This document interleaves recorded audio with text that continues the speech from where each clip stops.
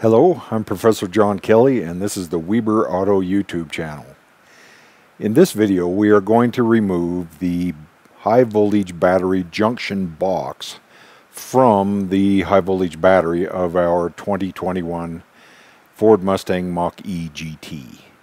Now there's been a recall just recently involving the battery contactors.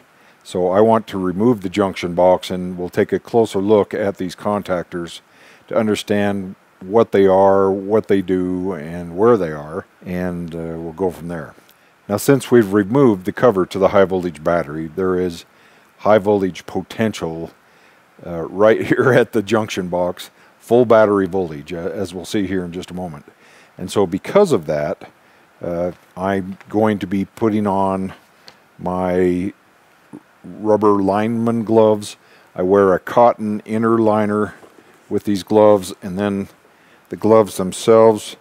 I've already pressure tested the gloves to make sure there's no holes in them and then OSHA regulations requires a leather outer glove uh, around that rubber insulative glove. So I'm getting on my personal protective gloves here to do any work inside the battery all right, let's go take a look at the junction box.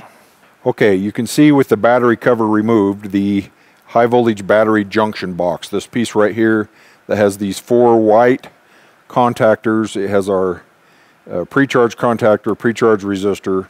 The two inside contactors are for the DC fast charge. The two outside contactors are for the inverter connections to the battery, the front and rear inverters. We have a high voltage negative connection from the battery right here that comes in and connects, it will connect through this contactor to a terminal here on the front, the negative terminal on the front that goes to the front inverter. And then we have a high voltage positive cable that comes in from the overall battery positive that connects through this contactor to the high voltage positive output to the front inverter and through some additional cables back to the rear inverter. Uh, we also have a pre-charge contactor and a pre-charge resistor. Uh, there is a current sensor built into this.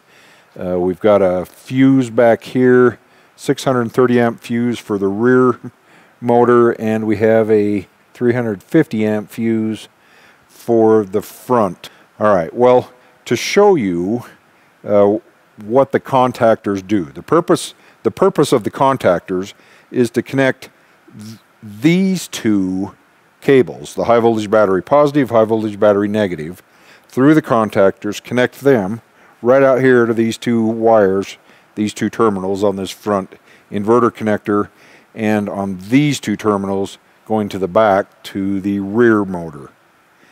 So Let's take a, a, voltage measurement of battery voltage at the moment. Uh, I have a Fluke 87 category 3 meter here with the category 3 meter leads with the sleeves. These meter leads, you can twist them and make it be a category 2 lead or a category 3 lead. We're supposed to use category 3 uh, wherever possible. So I'm going to go to, I'm going to open up battery negative connection right here and battery positive connection that's off camera over here. But I'm just going to go from overall battery negative to overall battery positive and we get 380 volts exactly.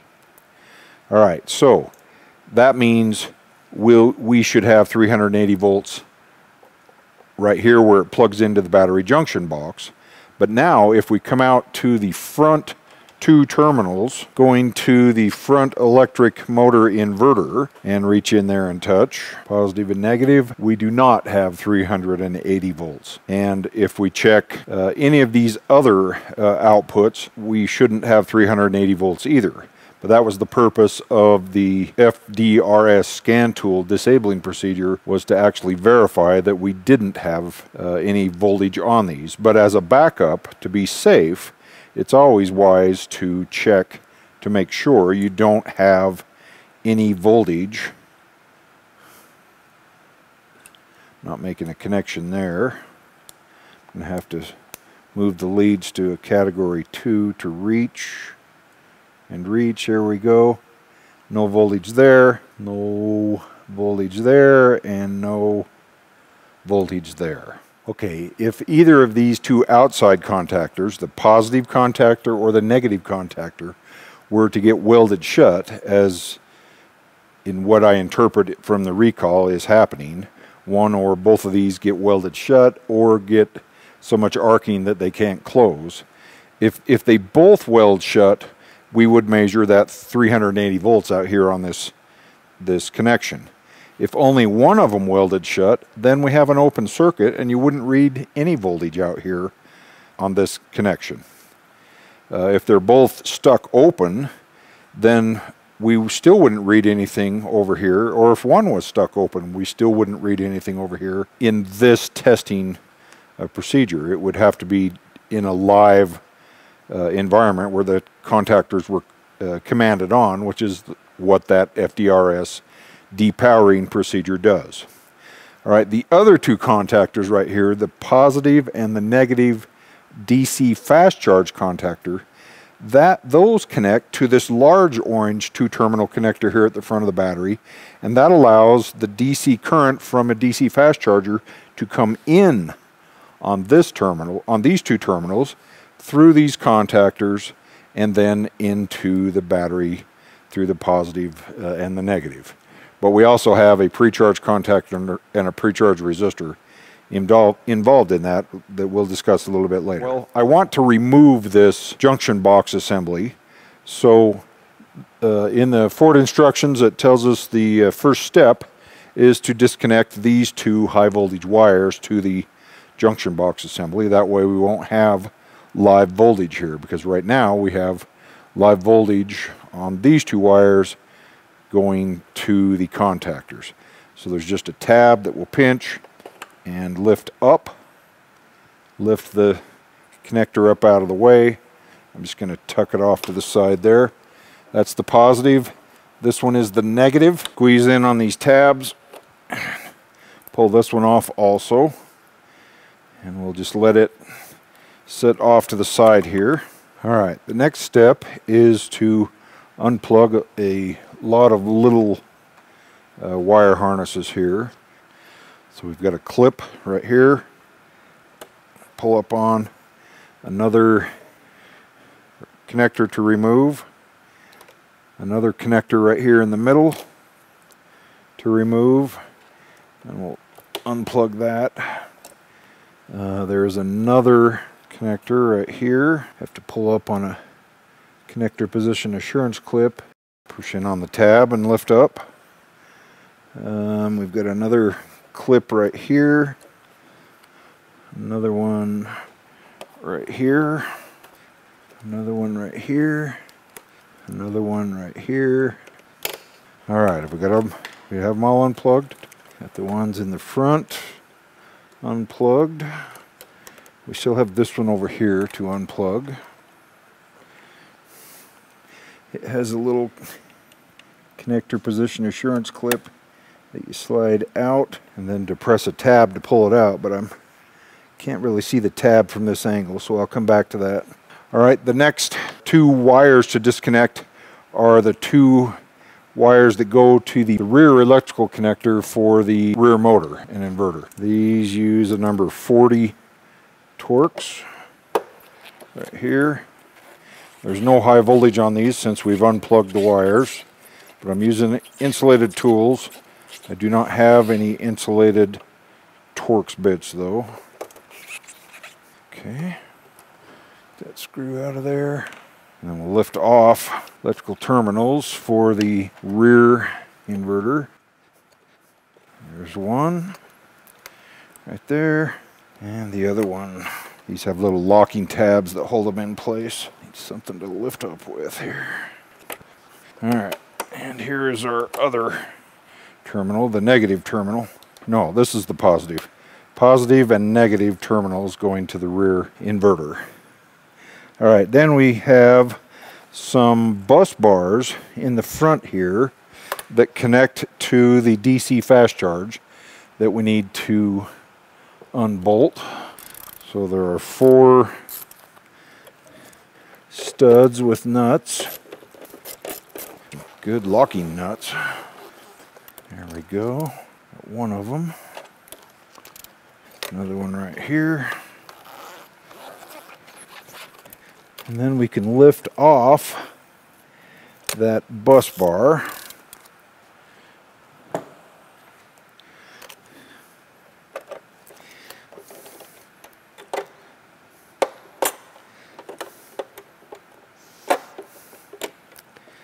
Here we go. So here is the bus bar that we just disconnected for the DC fast charge. So that would have been the negative bus bar. Now we have to do the positive side. It's got two more nuts and a bus bar.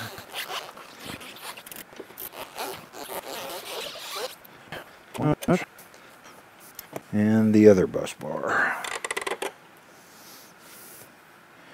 Here's the other bus bar right here. Looks like nickel coated copper.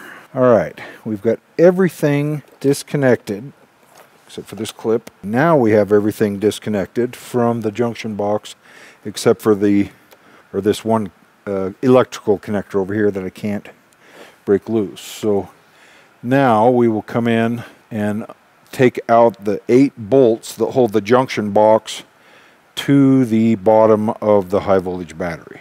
Let's see, those are 8 millimeter.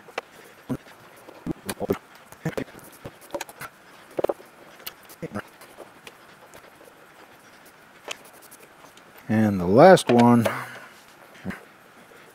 okay, I'm ready to lift out the junction box. This big piece right here. Get all this other stuff out of the way slowly lift it out.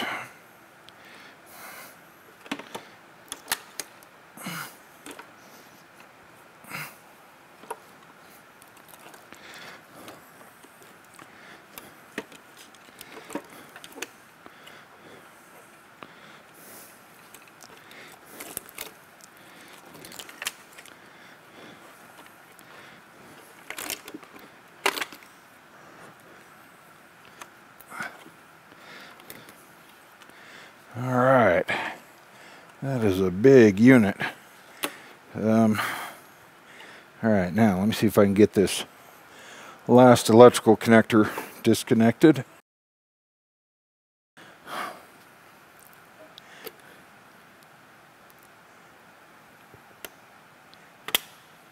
There we go.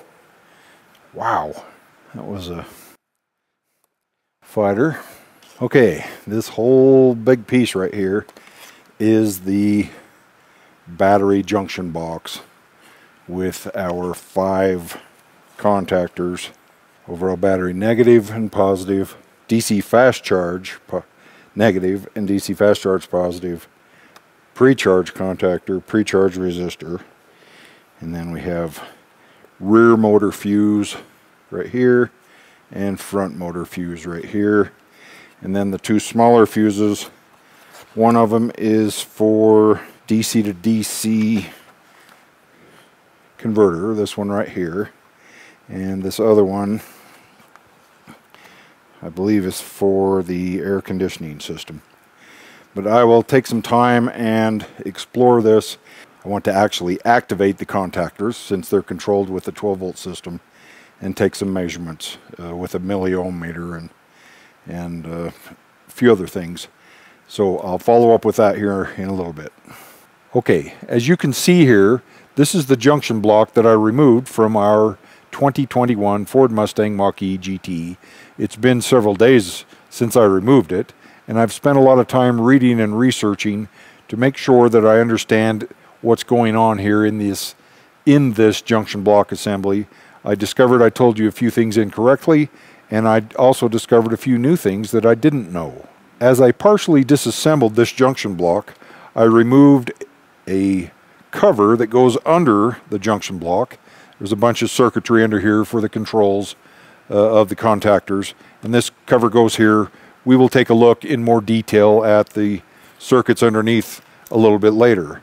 It also has an upper cover that sits on here that I've removed to see some of the internal pieces and trace the current uh, through the circuit. Uh, but in the process of doing that, I discovered that there are at least three different versions of the battery junction block. There's one for the rear wheel drive only, there's one for the standard all wheel drive, and there's one for the performance all wheel drive, the GT version that we have. This is the performance one. And one of the big differences between those two, and there are several differences, but one of the big differences between the standard all wheel drive and the regular all wheel drive are the fuse, fuse sizes used for the front axle.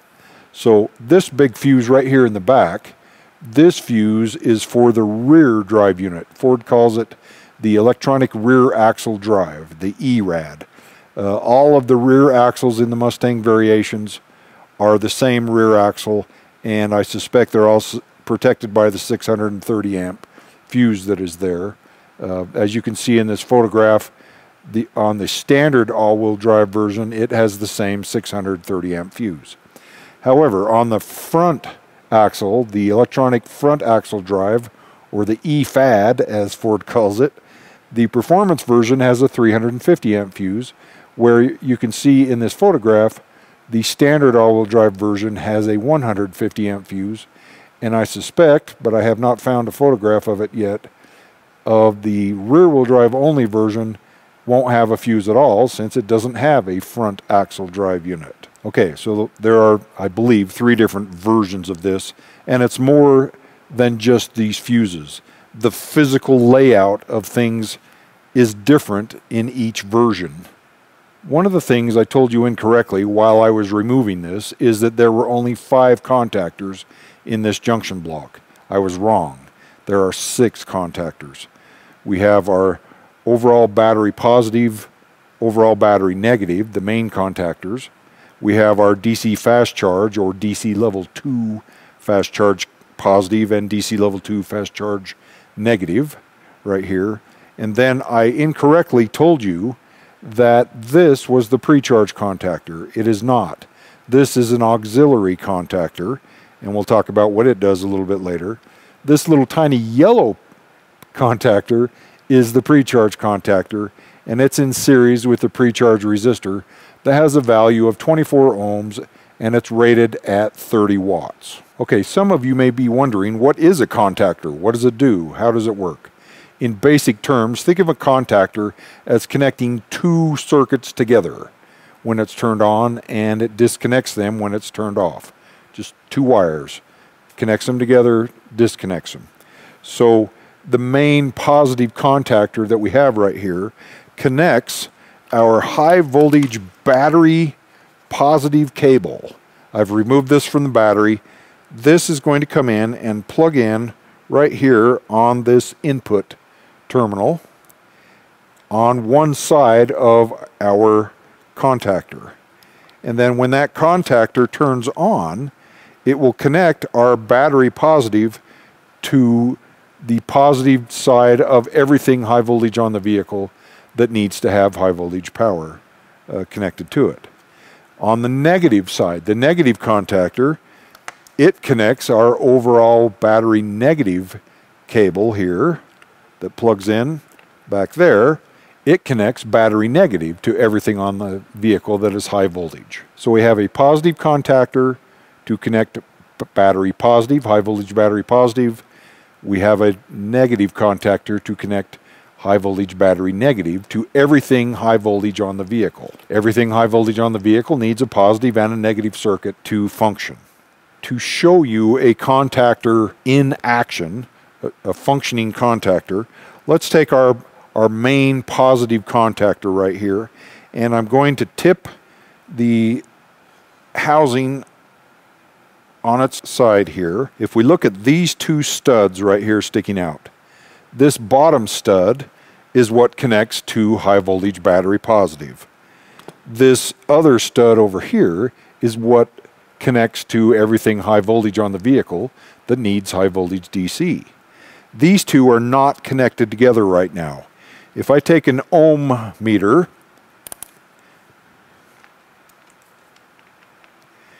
and I'm going to turn on the continuity beeper And if I touch both meter leads together, the meter emits a, a tone. So right now, I'm going to connect our meter, one meter lead to the high voltage battery positive input and our other meter lead to the high voltage battery positive output. Notice our meter is reading OL, overload, which means it's an open circuit. There's, there's no connection there. Now, to turn on these contactors, there are some little tiny 12 volt circuits, low voltage circuits. There's two wires right here. There's a red wire and a black wire, and they come all the way over here to a little green circuit board that we can you'll see on the top of the junction block. But we've got the red wire right here, the black wire right here. The red wire has power on it that is connected through that green low voltage service disconnect connection under the hood. And so I've brought in a 12 volt power circuit right here and I'm just going to put it under that electrical terminal. I've now connected 12 volts to the power side of the control circuit of our contactor. Now, to turn on the contactor, all I have to do is come in with a 12 volt ground. And this is what the battery energy control module does. If we want to turn on the contactor, we give it 12 volt power, we give it 12 volt ground. Listen for the click. These contactors can be quite noisy. Here we go.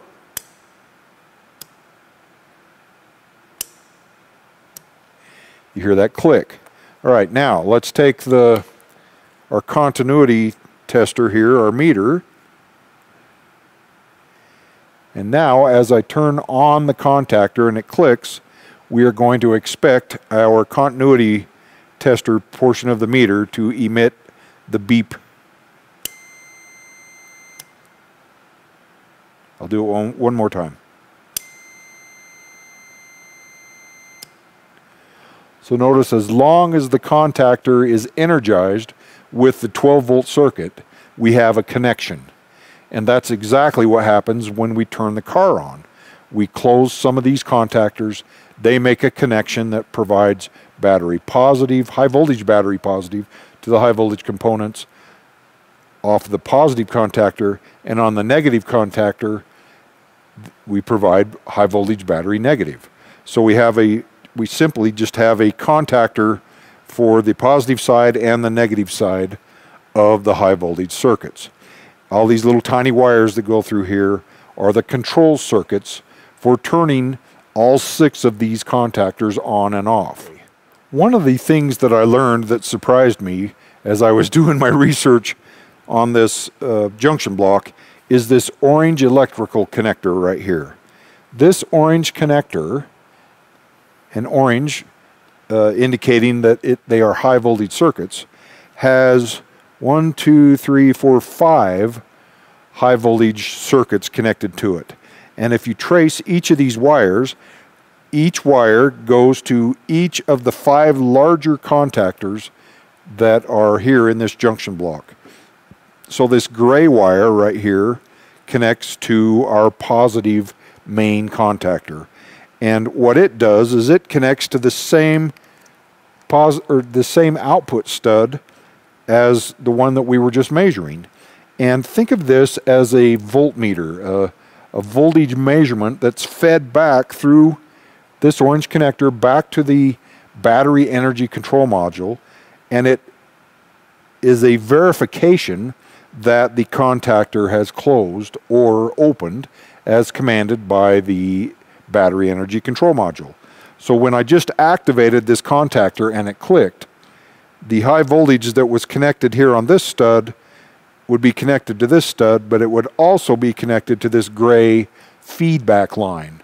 So the battery energy control module commands on the contactor, it's going to expect a voltage on that line to indicate that the contactor closed. When it turns off the contactor, it's going to expect for that voltage to drop to zero. But if we had a contactor that was welded shut, it would not drop to zero. It would stay at a higher uh, voltage. These sense lines connect at each of the con contactors. So we've got the gray one right here, we've got a red wire right here, we've got a white wire right there, we've got a yellow wire right there, and the green wire right here. So those are all five of those circuits.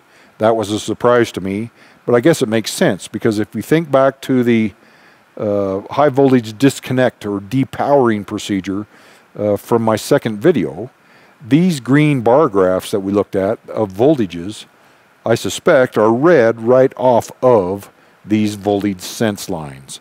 The voltage sense lines are downstream of the contactors, which means they're on the output side of the contactors.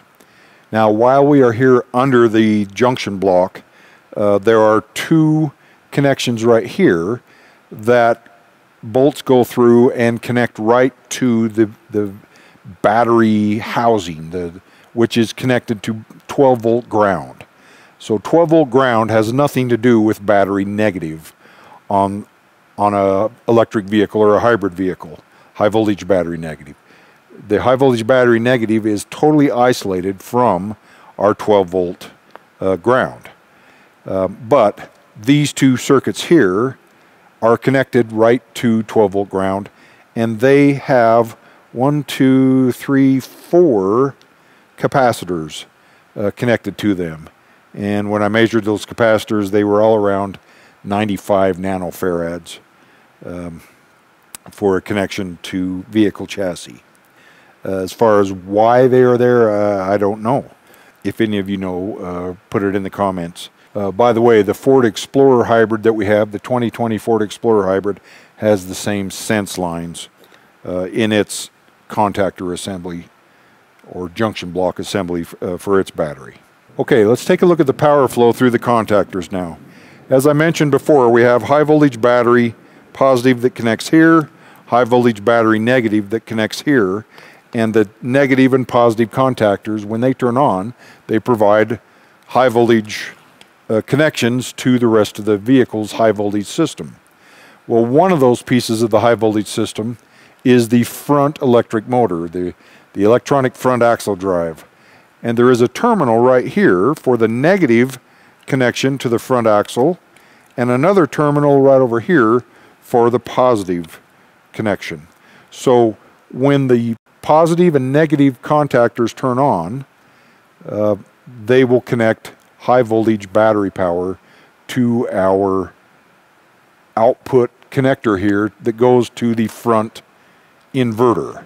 And then in the back of the, the junction block, as you can see right here is a threaded fitting.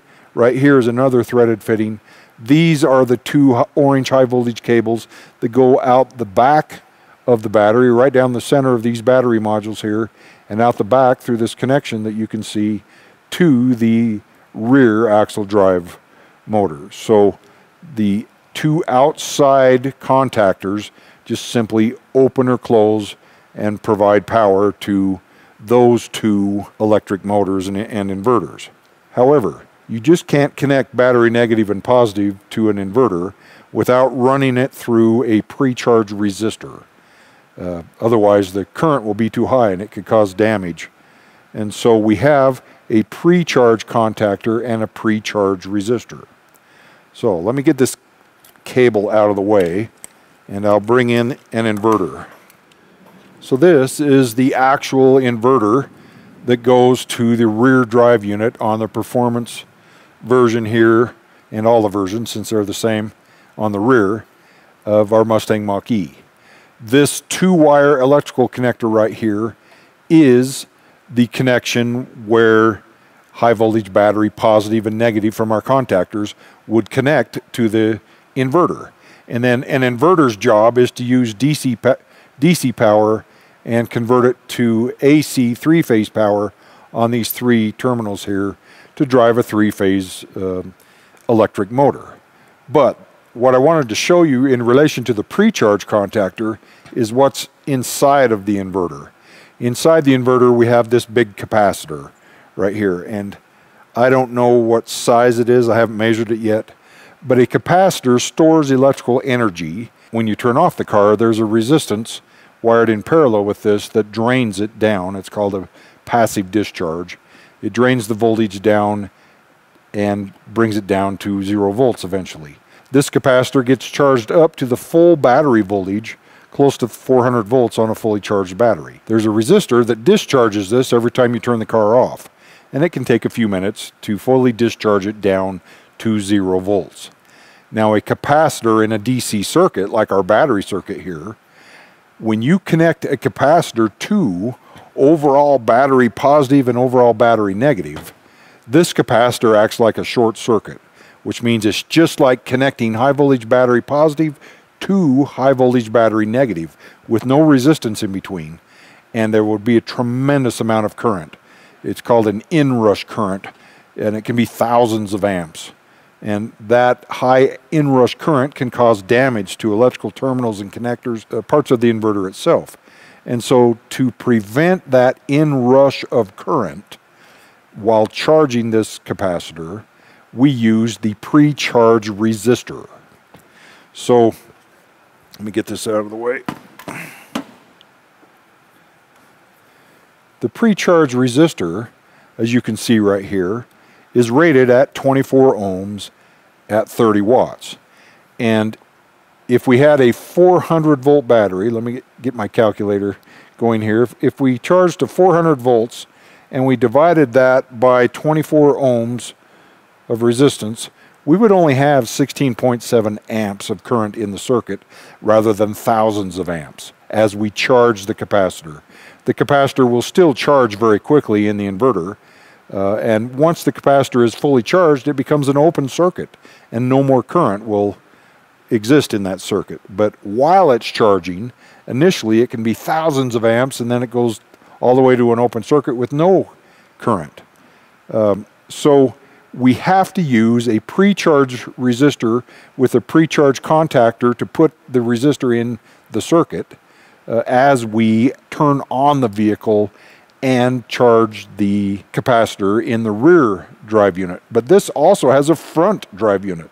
So we're doing two capacitors at once, which would give us a tremendous amount of current in the circuit as it was uh, charging up. So the pre-charge contactor does the same thing as the battery positive contactor. It's on the positive side of the circuit. It's just going to run current into these capacitors through this 24 ohm resistor rather than through zero ohms like you would have in this uh, contactor. So the sequence of events is something like this. We would turn on the negative contactor to apply battery negative to the capacitor, but it's still an open circuit with no current.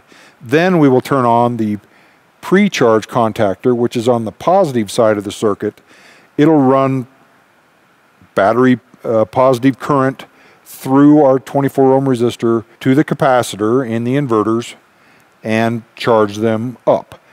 Once they are charged, we keep the pre-charge contactor turned on while we also turn on the positive contactor. So at this point, we have the negative contactor the pre-charge contactor and the positive contactor all on at once. Now once the two outside contactors are turned on and the capacitor is charged, then we can turn off the pre-charge contactor because the capacitor is already charged. So it's a sequence of events there and you have to do them in the correct order so that we don't have that inrush of current. So that is the purpose of any pre-charge contactor and resistor is to prevent that inrush of current. Now that has to happen anytime you're going to put power to those capacitors, front or rear, or, or both. Um, every single time, even during DC fast charging, the pre-charge contactor and resistor are used. Over here on the battery positive side, we have a current sensor. And this is an inductive current sensor. It just has a, a little hole through the middle of it. It's kind of like a clamp style inductive current sensor and it goes around our high voltage battery positive terminal right here. It just slides right on. There's just a couple little clips that hold it in place. This has that electrical connector that gave me uh, some trouble disconnecting it while it was still in the, uh, in the battery housing. All right, now let's take a look at the electrical connectors to the rest of the components uh, on the vehicle. We've already shown you the high voltage positive and negative output to the front inverter and the high voltage positive and negative output to the rear inverter for this car. But we have other high voltage components that need a connection. So over here on the negative side of the junction block assembly, negative comes all the way over to the about the midpoint right here. Um, we have a 50 amp fuse right over here and that comes over this little circuit that I've pulled out of the upper cover. This terminal and this terminal connect to another wire harness that I have back here. And it's this connection right here. And one of those wires feeds power to the cabin heater and the air conditioning compressor the electric air conditioning compressor. The other wire feeds power to the DC to DC converter and the onboard charger module that Ford calls the secondary onboard diagnostic module A. So there's a separate fuse for each of those circuits. Now there were four components I mentioned there, but there each or there are two components fed off of each fuse. So one more time, this fuse right here, this 50 amp fuse feeds the DC to DC converter and the onboard charger module. This fuse over here feeds the cabin coolant heater and the air conditioning compressor. Now, on this fuse here for the DC to DC converter and the onboard charger module, it has the auxiliary contactor in series with it. And the auxiliary contactor connects all the way back over to our battery negative terminal.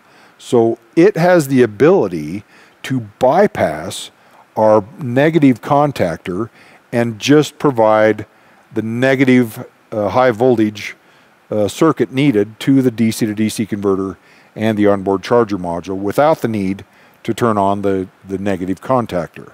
That has the advantage of we don't need to power up or pre-charge the uh, capacitors in the front and rear uh, electric motors.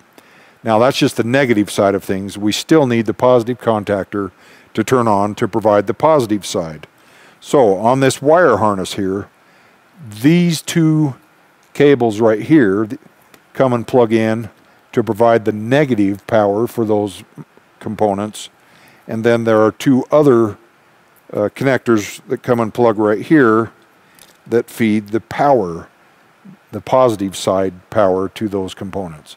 So the air conditioning compressor, the cabin heater, the DC to DC converter, and the onboard charger module, they all need to have a connection to the positive side, which is done through this these two circuits, and the negative side of the battery, which is done through these two other circuits uh, over here. On this wire harness, we also have the main connector, the low voltage connector, uh, that carries uh, the CAN communication lines, uh, power, 12 volt power and ground.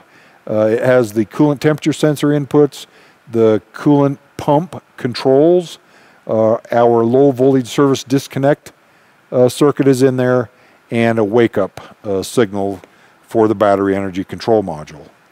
Uh, it also has here, uh, oh, by the way, that's the same electrical connector that's used in Ford automatic transmissions. They just use the same connector. These two circuits, these two small circuits right here, these two wire circuits are called interlock circuits. And they connect to the high voltage connectors uh, and watch to see if somebody unplugged the connector in the wrong sequence. If you unplug the connector in the wrong sequence, these two little interlock circuit wires will show an open circuit, which the battery energy control module will monitor and command open the contactors. All right, so that's one of the harnesses that plugs onto here. We've got our front motor connector harness. We have our rear motor connector harness. And those are the, the main uh, output harnesses for this uh, junction block. I forgot to show you, we've got this green circuit board right here uh, with a, an electrical connector right here.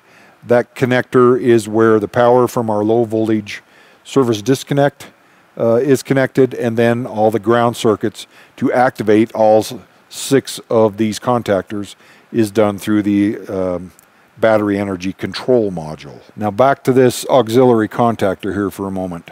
I believe the this contactor allows our DC to DC converter to be turned on and off without having to power up the front and rear uh, capacitors in the in the drive units. And it, I think it does that for battery maintenance 12 volt battery maintenance because the DC to DC converter is what keeps the 12 volt battery charged.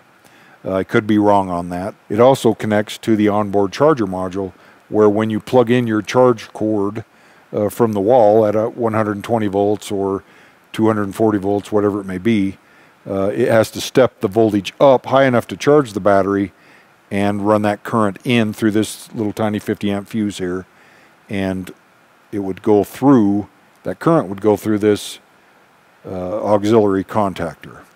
So the contactor is there to be able to open and close that circuit. Once again, I believe it's for 12 volt charging, but it could also be for just your AC level 1 and AC level 2 charging uh, and the DC to DC converter at the same time. These two large contactors here are for DC fast charging. Some people call that level 3, but there's no such thing as level 3, although people will argue with me all day about that. It's actually called DC level 2 charging, and that's from the Society of Automotive Engineers standard J1772. This contactor is the DC fast charge positive connection to our high voltage battery. This contactor is our DC fast charge negative connection to our high voltage battery. Uh, but it has to do it through the two outside uh, contactors. So what I have right here is the DC fast charge electrical connector off the front of our high voltage battery. It has some big bus bars on there to carry a lot of current. Uh, I believe this Mustang on the window sticker said it supports 150 kilowatt charging. So 150 kilowatt charging allows for a pretty high rate of current. 150,000 watts divided by the 400 volts, it would give us 375 amps. But the Electrify America charging stations aren't capable of outputting 375 amps. I believe they're only rated at 350 amps maximum. So anyway, that's a large amount of current. We need these big, heavy bus bars to handle that amount of current. So we have a DC positive input, a DC negative input right there. And these two bus bars are going to connect to these two studs right here. So they're going to come in and sit right there. There were two nuts that you would bolt down. The cleanliness of these connections has to be just perfectly clean. You can't have dirty hands and put this on there. You can't just lightly torque the nut, and you can't over torque it either.